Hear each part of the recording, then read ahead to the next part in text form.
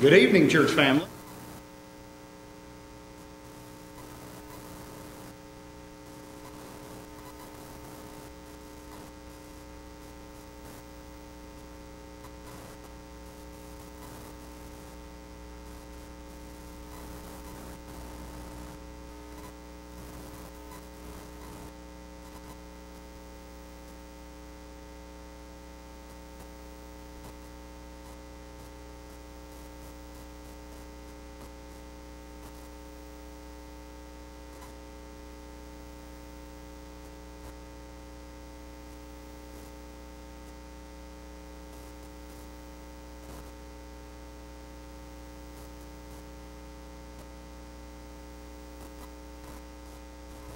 Sight up to the screen, and I got an image on the screen.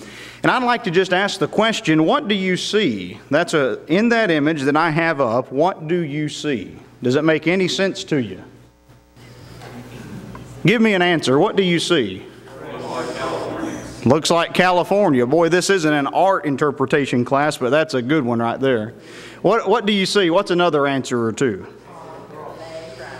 You see a lot, a lot of things, don't you? Did somebody say a boiled egg? That's a good one. Okay. All right, so let me just tell you that what you see there on the screen is a very, uh, very old painting uh, that you will certainly recognize if you saw a clearer picture of it. Uh, let me zoom out just a little bit and just see what do you see there? Okay. Does anybody, if you said the name of the painting, then I didn't hear you, so I'm going to keep going. Well, you ruined my point. okay, let me just tell you that when I look at this image, I don't know how well you can see on, it's a little less clear on the screen as it is on my phone.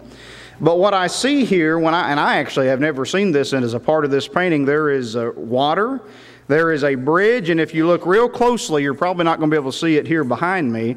There seems to be a man standing on that bridge. Now, I couldn't see that back at this image, but when I zoomed out just a little bit, I did see it on this image.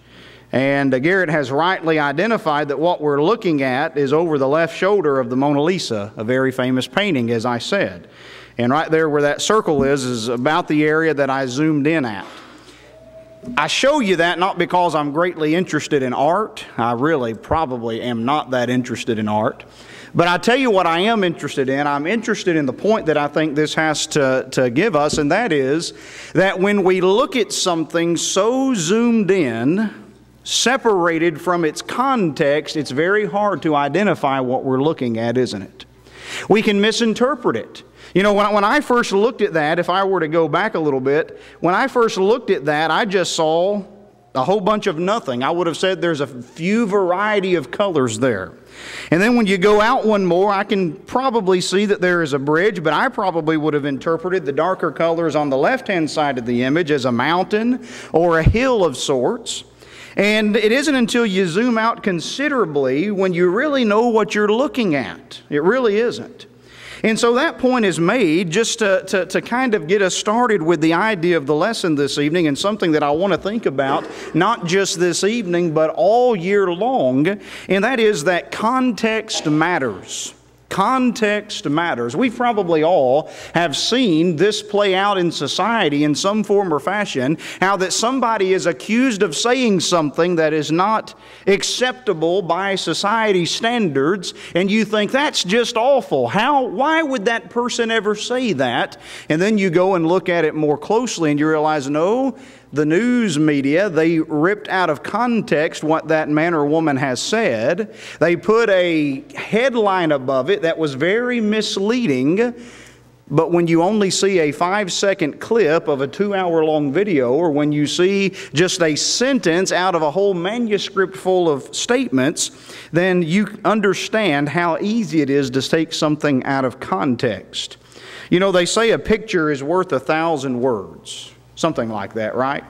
And when I think about that statement, I'm reminded that the Bible has 783,000 words.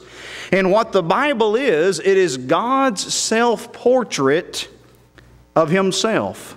It is God, if you will, in a sense, giving us a, a, a, portrait of who He is, what He is about, and how He wants us to respond to that information. And so when we are talking about taking the Bible in context, I know that that might sound boring to some, but I think it's an important discussion to be had. And so I want to have that discussion with you this evening. I would suggest that we read the Bible that we study the Bible, that we spend time thinking about the Bible. I hope that every person in this room has that desire, has that zeal. And at the beginning of the year, if you're anything like me, you kind of hit the reset button and you think, maybe I'll give that an attempt this year that I wasn't greatly successful at last year. And so I want to read and study the Bible, and that's good. But in the midst of our reading and studying and thinking about the Bible, may I offer this warning may we try our very very best not to, may we do our best not to fail to see the forest for the trees. Does that make sense? Here's a common scenario. You take a passage, we're trying to understand the passage, and we just want to read that verse or those two verses or those three verses, but we haven't yet taken time to think about how that fits into the overall context of the Bible. That's what I want to discuss with you this evening.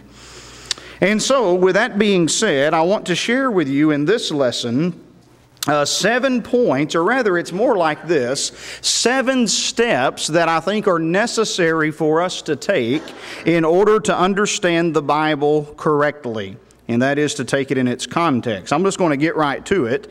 In step number one, I want to recommend to you that we first understand the purpose of the Bible itself. I think sometimes the very purpose of the Bible is misunderstood. We think, well, the Bible is a book primarily giving us a roadmap to heaven. I've heard that said. Now, is there a sense in which that's true? Yes. But I don't believe, first and foremost, that's what the Bible is. Does it accomplish that? Why, certainly it does. And so I don't want you to uh, quote me or think that I'm saying the Bible is not our GPS. It is not our roadmap to heaven because it is. But that is not the primary function of the Bible. I would suggest to you the Bible has three primary functions, and that is number one, uh, to address is to address these three questions. Number one, who is God? Number two, I would suggest that the Bible is answering the question, What has God done for us? And number three, How does God want me to live? That's the three main questions under consideration. And that first question, Who is God, is primarily what the Bible is given to us for. And so, with that being said, let's just consider that a little further. You probably know that Psalm 19, verse number 1, famously says that the heavens do what?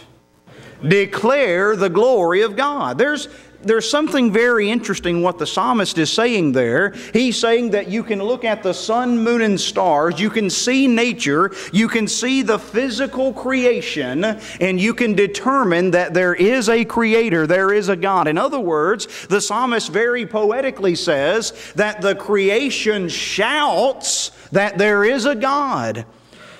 But you know, if we want to get to know that God, we can't do that through nature. Not only, and so the point that is under consideration here is that the only, I, can know that there is a God by creation, but I cannot know who that God is, what He is like, and all of His qualities and attributes. I just can't know that. And so the Bible, in a very real sense, is God writing us a letter, putting it on terms we can understand human language, and He puts, He doesn't just give us a list of thou shalt and thou shalt nots, He is giving us a story story. He is in, in, a very historical, chronological fashion with big pictures and big themes in mind. He is telling us who He is in story form, and it's real life events.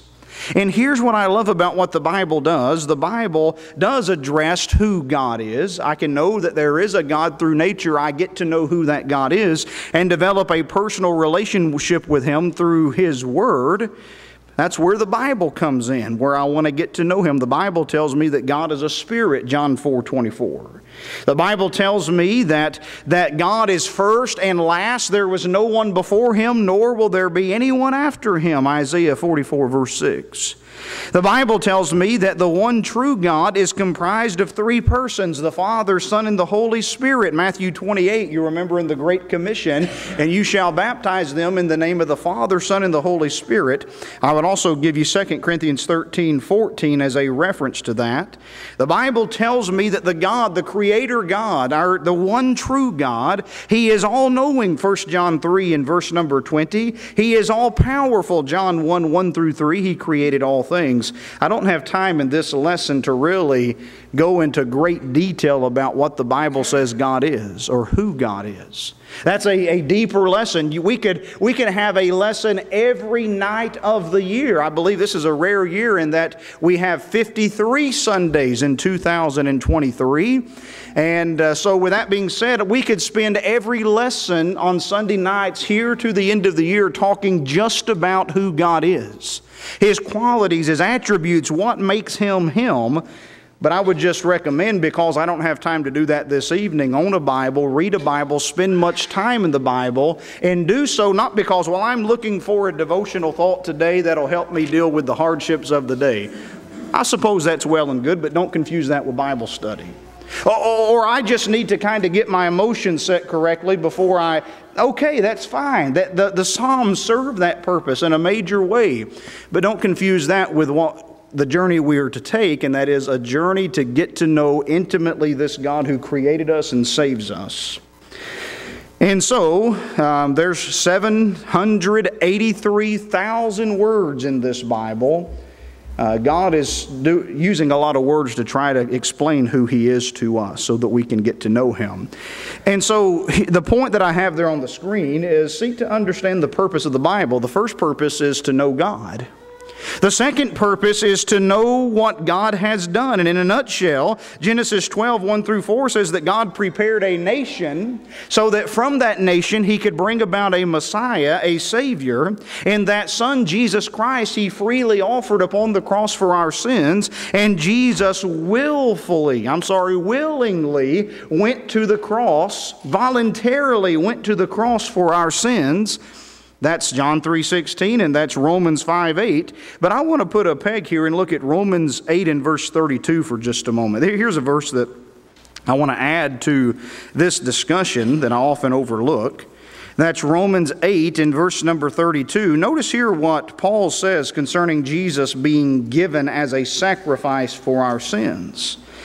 Romans 8:32 the Bible says he who did not spare his son but delivered him up for us all how shall he how shall he not with him also freely give us all things? I love this statement in verse 32 that says the father did not spare his son. Another way of putting that is that the father did not hold back so the Bible addresses that second question what has God done for you and I? What has He done for humanity? In short, He held back nothing from us. And when God demands our full hearted commitment, may we not hold back anything from Him either. The Bible continues to say that the Son will willingly laid down his life on the cross, sacrificing himself, but that the Spirit inspired holy men of God to write God's word in human language, 2 Peter 1 and verse number 21. That, those words have been preserved for us today, and it is contained in the book that we call the Bible. He provides for all humans both sunshine and rain, Jesus said in Matthew 5, verse 45. He provides salvation to those who are in Christ. And so that leads to the third purpose of the Bible, and that is how does God want us to live? In short, He wants us to respond to Him in faith, for without it we cannot please God. Hebrews 11 6. He wants us to fear Him and keep His commandments. Ecclesiastes 12 13. And I love the way Jesus summarized it when He said, We love God with everything we have our heart, soul, strength, and mind. Mark 12 and verse number 30. So that's the first step Everything I read, the way I interpret a passage, the way I apply the scriptures, the way I understand this book, it has to fall under the umbrella of what the purpose of the Bible is to begin with. You know, this book is accurate when it comes to history, but it's not a history book. It, it, that's not its purpose. This book even has medical statements listed, especially there in the Pentateuch, and it's accurate, but it's not a book of medicine, is it? This is a love letter from God saying, You may have noticed that I exist because of my creation. I want to get to know you, and I want you to get to know me. This is where we start. That's what the Bible is. Everything should be interpreted and viewed under that umbrella. Observation number two, or step number two, is it is important if we're seeking to take the Bible in context to understand the chronological timeline of the biblical events. In other words, know that Cain comes before Noah. And know that Noah comes before Abraham. Know that Moses came after Joseph, but he came before David. Now, I know that sounds simple and fundamental, but so many false teachings arise by failing to understand these things. Know that the ministry of Christ took place while the Levitical system was still in effect but that his actual teachings are applying to something that are future oriented, and that is the time of the church. Know that the Old Testament covers about 1,500 years, whereas the New Testament covers about 100 years. All of these things will aid in our Bible understanding. Not knowing this, will inevitably get us in trouble when it comes to understanding the Bible. For example, let me give you an example. If we know that the kingdom of Israel was united under Saul and David and Solomon, and if we know that after Solomon's reign, the kingdom of Israel split in half, so that is split in two kingdoms, and now you have the northern kingdom, which is Israel, and you have the southern kingdom, which is Judah, just knowing the timeline of the Bible will clear up a whole lot of confusion. For instance, what book am I reading? Where does it fall in the timeline? When I read of Israel, is it talking about united Israel, which included Jerusalem? Or is it talking about divided Israel? It's only known as Israel, which does not include Jerusalem. Does that make sense? And it's interesting to note that during the divided kingdom, there was never a time when the northern kingdom, Israel, was faithful to God. There were many occasions when the southern kingdom, Judah, was faithful to God. So, understanding this in where, you know, if I'm reading Genesis, that doesn't apply. If I'm reading 1 Samuel, that doesn't necessarily apply up until the time of King Saul. And so this is important, I think, understanding the chronological timeline of biblical events. To give a New Testament perspective to it, I would say it's not a good idea to start reading and studying the book of Acts without first having the foundation of the ministry of Jesus for instance. So we could delve into that with more detail later. Here's a third observation. Understand the three dispensations. I'm going to give you some practical reasons why this is a good idea. There are three dispensations or periods of time that are very important when we try to understand the Bible in its context. One of those, is, and the first of those, is the patriarchal age. And then you have the Mosaic age, and then you have the church age or the Christian age. Let's talk about those very briefly. The patriarchal age is just that it is a time and a period when God communicated His will directly to individual families, but through the Father, through the patriarch. And that would have included, say, that if you were, if, if during Isaac's lifetime, if Abraham were still living, Abraham was the patriarch, not Isaac, even after uh, he would have started his own family, though it didn't work out quite that way. And so in, it's important to note that the patriarchal age, we have no reason to believe that God was only speaking to Abraham in this way. It seems that whether you were a Jew, which really hadn't existed yet, or a Gentile, the patriarchal system worked the same across the board. There was no distinction between Jew and Gentile at that time. And I would also note that it seems as though that for the Gentiles, this patriarchal system continued all the way until the time of the Christian age. For instance, in Acts chapter 10, we come across a Gentile who God communicates directly to. This is after the New Testament history has begun. This is after the 33 years of Jesus' uh, earthly life. This is after the church was established, and that's Cornelius in Acts chapter 10. And so that gets us to the second dispensation or age, and that is the Mosaic age, and that covers the period of time from when God gave the law in written form on Mount Sinai all the way until the church age began. And so I put it that way because there's a few things that need to be understood about the Mosaic age, and that is one, it was not given universally to every human. It was given to the Jewish nation only. So, therefore, if a Gentile were to come along in that age or in our age and start trying to implement things from the Levitical system or the law of Moses, the Old Testament primarily, they would actually be wrong whether they did that before Christ or after Christ, unless they became proselytes and became Jews, of course. And so, this is important because the third section is the church age, and that is the Christian age. So, to recap, God spoke directly to the fathers during the patriarchal age. He spoke directly to the nation of Israel through written law. It started out with 10 commandments and grew into over 300 commandments. He does this in the Mosaic age. And then in the church age, you remember what Hebrews chapter 1, verses 1 through 4 says? God has now, I'm going to paraphrase it communicated at various times and in various ways, and has spoken to our fathers through the prophets, but has in these last days spoken to us through who? Through His Son, Jesus Christ. And so that's significant. In other words, there is a difference in the age in which we're living in and the age that Jesus lived in, for instance. And there is a difference in the age that Jesus lived in and the age that Abraham lived in. They are different dispensations. A failure to understand this distinction will lead to people trying to implement tithing today, trying to honor the Sabbath day today, uh, trying to, uh, to implement other uh, points of the Levitical system, such as using harps and lyres and instruments when singing praises to God. That was a temple worship practice only. Even the Jewish people, the Old Testament is chock full of passages not only citing that they used instrumental music to praise God, but commanding them. David commanded the children of Israel in the temple worship to praise God with harps and lyres, a type of instrument. So they did so. But the early Jews, when the, they were separated from the temple, when they were away in exile, they didn't use instrumental music.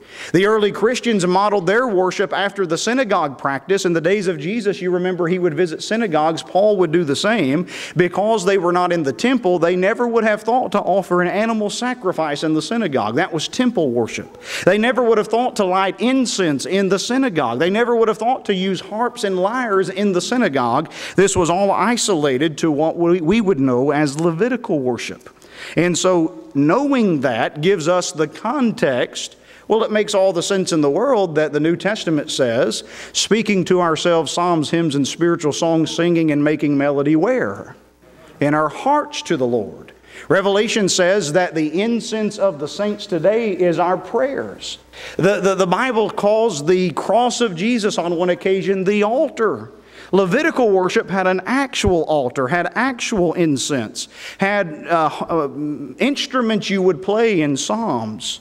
All of that was turned into a more spiritual direction sometime later. Here's a fourth observation understanding the two testaments. And I told you I had a lot to cover, so I'm going to speed this up a bit. You know, there is an Old Testament, and you know there is a New Testament, and because of the way the Bible's organized, it's pretty easy to understand what is what. But I think sometimes we fail to remember that when we're, we're reading the books of Matthew, Mark, Luke, and John, though that is New Testament, that's still under the Old Testament system. Not the teachings, but the events. Does that make sense? And so, understanding this distinction, the Old Testament was for Jews. I'm talking about the law of Moses and the prophets. They were for the Jews, the Jewish people, the Jewish nation, and that law was perfect for the intent it was given. We're going to read a passage in a moment that I think that statement is important.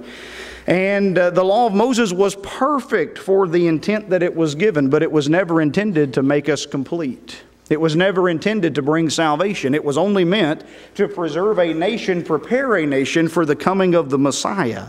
The New Testament, on the other hand, or sometimes called the gospel, it is a message, it is a law, the law of Christ, that can save us of our sins. Romans 1.16. Paul says, I am not ashamed of the gospel of Christ, for it is the power of God unto salvation. The Old Testament didn't have that power. Go with me very quickly in your Bibles to Hebrews chapter 7. We read this this morning in our Bible class, but I want to read it for this point here. And I want you to just have a little context of Hebrews 7. What he's discussing is how that Christ is superior. What he's discussing here in Hebrews 7 is how that Christ is the high priest forever after the order of Melchizedek. Without getting into it, he's saying that Christ's priesthood is superior to the priesthood of the Levites. That's what he's saying. When we get to verses 11 and 12 of Hebrews 7, he connects the priesthood of the Old Testament, the Levitical priesthood, to the Old Law, and then he connects the priesthood of Christ to the New Law. Notice what he says. Hebrews 7, verse 11. Therefore, if perfection were through the Levitical priesthood, he's not saying that God made it and it was something was wrong with it.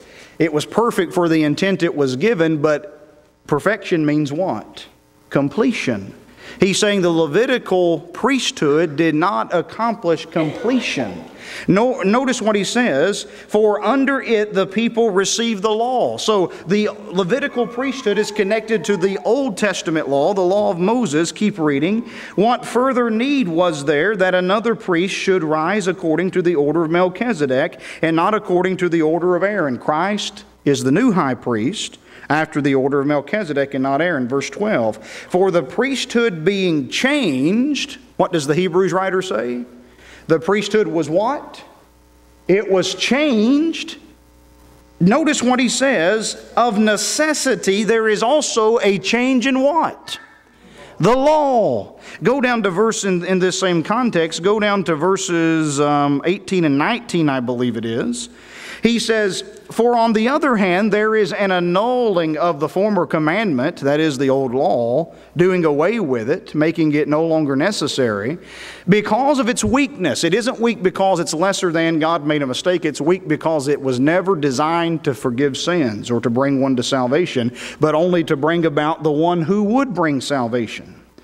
And so he says the annulling of the former commandment because of its weakness and unprofitableness. If we're living today, and we're trying to follow the law when the blood of Jesus has already been freely given, it will not lead us to forgiveness of sins. Therefore, it's unprofitable. Verse 19 For the law made nothing perfect or complete. On the other hand, there is the bringing in of a better hope, which Notice through which we draw near to God. We have hope and draw near to God today by the priesthood of Christ, not the Levitical system. We have hope and draw near to, Christ, to God today through the law of Christ, not the law of Moses. And Galatians 6 refers to the New Testament as the law of Christ.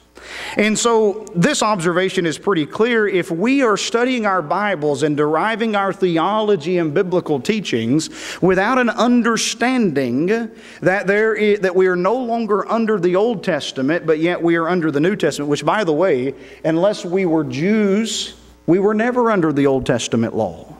And I think that's worth noting. But failing to realize this puts us in a situation where we may be like some tempted to honor the Sabbath day as a day of rest, though the New Testament never teaches such, or tithing, or all of these things that we've already stated. Here's another observation, number five. Taking the Bible in context also means that we understand the context of that Bible book. And let me just note that this is the purpose of what we're trying to accomplish this year on Sunday evenings is give a, a, a, very big overview, an eagle's eye view, if you will, of a Bible book, one book at a time. And it's just like that picture that I put on the screen. If I would have started with the picture of the Mona Lisa and then zoomed in and you saw, oh, we're going over the left shoulder, and then zoomed in again to see the bridge and the man, it would have been far better a way to show you that detail, right? It's better to start big and work to details than it is to start with the details and just muddle around in the confusion. Does that point make sense? And the mistake that I often see, especially in church services that we make, is that The preacher oftentimes is the worst at it, and I'm pointing at myself. I expect you to know something that I personally have studied. Maybe you've studied it, maybe you haven't. And I give you that small, that zoomed in view, and you have all these questions and confusion because you haven't seen the big picture yet. And so, understanding the uh, context of the Bible book, um, let me just make this observation. You know that in the New Testament, every book except for six of those books Matthew, Mark, Luke, John, the book of Acts, and Revelation. Take those aside, but all the rest of the books of the New Testament can be read in one setting from beginning to end between two and 45 minutes. Have you thought about that? And I'm even being generous with that. I'm assuming that uh, it takes you about two or three minutes longer to read than what the slowest version of the audio Bible is giving you. And so that's really not a whole lot of reading. I mean, I've got kids that'll sit there for three hours and read something that they're greatly interested in. And even if you take a big book in the Old Testament, like the book of Genesis, and if you were to put it on the slowest speed possible on the, on the audio Bible, it would take three 50 minute sessions, Monday, Tuesday, and Wednesday, doing less than an hour of reading, to read through the entire book of Genesis. You know what that tells me? And by the way, there's some books in the Bible that are not meant to be read that way. Psalms. Psalms are short because they can be read all at once, not the whole 150 Psalms, but one Psalm at a time. That's more devotional based reading. And so you know that the epistles of the New Testament, what does epistle mean? Letter. And if you were to receive a letter from a good friend in the mail and you got it out, would you break up the reading of that letter into 15 little periods of reading? I'm going to read line one today, line two. We wouldn't do that, would we? Nor was that the intent of the letters, the epistles of the New Testament. They were meant to be read before the congregation and before individuals, all in one setting. That helps us to better get the context of the whole book. Can't tell you how many times in this past year of reading the New Testament, because of how we read it all at once like that, that uh, I would read a familiar passage and think, you know what? That passage doesn't mean at all what I always thought it meant. When I read it in this context, I can see now that the way I understood that was actually out of context. And so when I'm trying to look at what a passage means, here's some questions to ask. I'll go down the list very quickly. Is this Old Testament or New Testament? It's important based on past thoughts that we had. Um, is this the patriarchal age, the Mosaic age, or is it the Christian age? Is this speaking to Jews or Gentiles or a combination of both? And that's very important in many of these New Testament letters. Who is it written to? By who was it, uh, to whom was it written, and by who was it written? What was about, if we can tell or get close, what was about the time it was written, and where was it written from, and to what region was it written to? What type of literature is it? Is it narrative? Is it dialogue? Is it poetry? Is it highly symbolic, like apocalyptic language? All of that is important. What is the historical setting? What is the social and political climate of the day? When I'm reading the book of Revelation, it's important to know that they were under persecution by the Roman government. Does that inform me on how to interpret the book of Revelation? Most certainly it does. And when I'm reading that Paul is writing, let's say, to the churches of Galatia, to Christians, to churches that were comprised of Jews and Gentiles, well, now when I read that there was a portion of Jewish Christians in the group who were trying to teach the law of Moses as still necessity, it makes sense now because I understand that context. And so I think all of that is important. Again, this is part of the benefit of these book summaries. Two more points, and the lesson will be yours. I think it's also important to understand the surrounding context. I've given this example before, but let me give it again. Can't tell you how many times through the years I have heard, and I continue to hear people say, and if I may be so bold as to say, in the past two weeks I've heard this uh, statement made about this passage, although two times recently I've mentioned it in a sermon. So that lets me know I need to keep preaching things over and over and over again, which, by the way, I need to hear things over and over and over again too. But you have probably at some point heard Matthew 18 and verse number 20, which says this For where two or three are gathered together in my name, I am there in the midst of them. You have probably heard that passage applied to the context that, well, this is the minimum number of people we need in order to have a worship assembly. Well, when you go back and read the surrounding context of Matthew 18, you read, doesn't mention worship at all. It's actually talking about correcting a sinning brother, and you go to him in private, you go to him with a witness, you take it to the church, and uh, when it talks about in that context, where two or three or more, I am there in the midst of them. And so that's just one example of looking at the surrounding passage of a given context. What point has the writer been talking about? What is he about to discuss? And in addition to that, it's as practical as this what do the verses before it and the verses after it have to say? Pretty common sense. Here's a final observation. And that is, in order to take the Bible in context, it is important to understand the difference between what applied to the original audience and what applies to us today. I see people get in trouble with this all the time, and I have done it several times myself. In this devotional style of reading the Bible, there is a purpose for that. If you want devotions from the Bible, I'd recommend the book of Psalms. If you're reading the rest of Scripture like a devotional or a feel good, I would recommend don't do that because it leads to false teaching and it leads to confusion.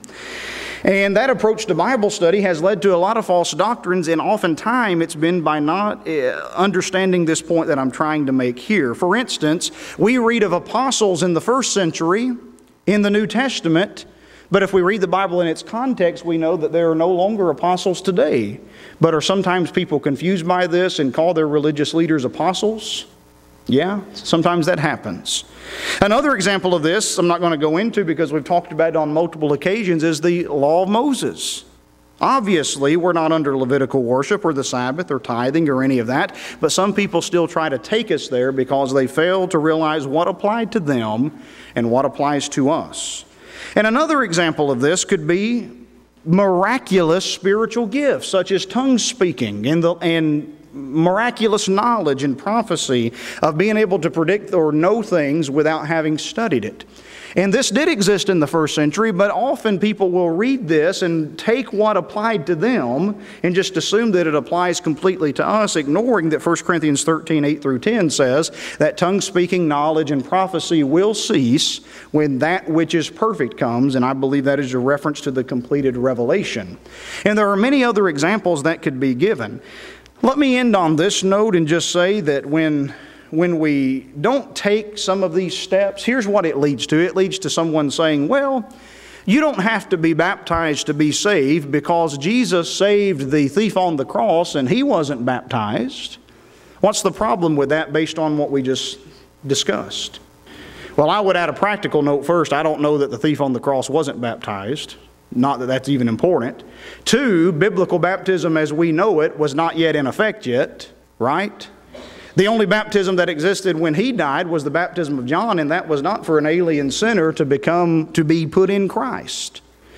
And in addition to that, I would just make this note that Jesus had the prerogative to do whatever he wanted to do. He forgave sins all the time. But the bigger point in this discussion is this, and you know what it is, right? The thief on the cross did not live in the church age. Repent and be baptized for the remission of your sins is taught in the church age. The thief on the cross, though in the story of Jesus, and that's recorded in the New Testament, he lived under the Mosaic age. Or if he was a Gentile, in the patriarchal age, which would overlap there, I believe, though I don't know if I can prove that definitively. And so, with that being said, we understand that context does indeed matter. And I know what, if I'm in your shoes, and I take myself back before having really considered a lot of this, here's my thoughts. Well, preacher, that's a whole lot of work just to read the Bible. You know, that's a whole lot of boxes to check.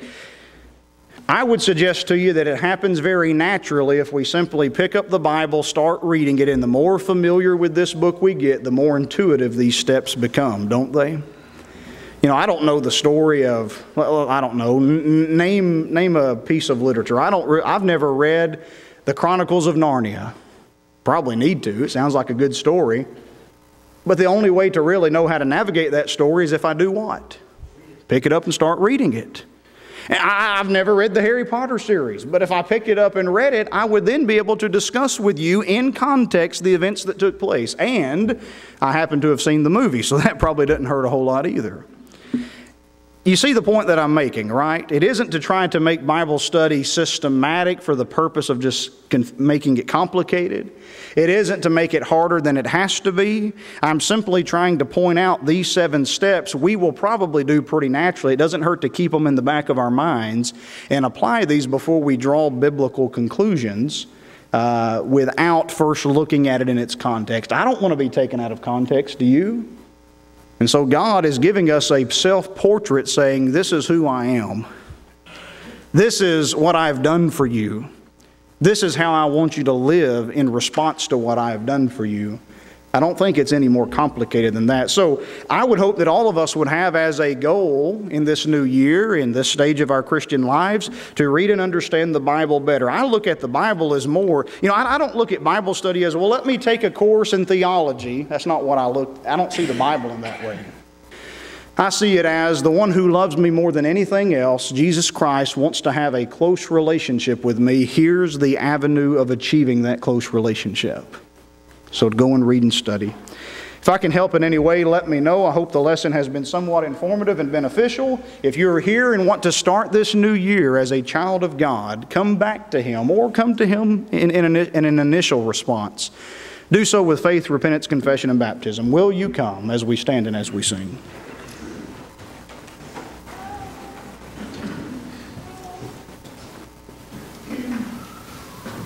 Psalm 876.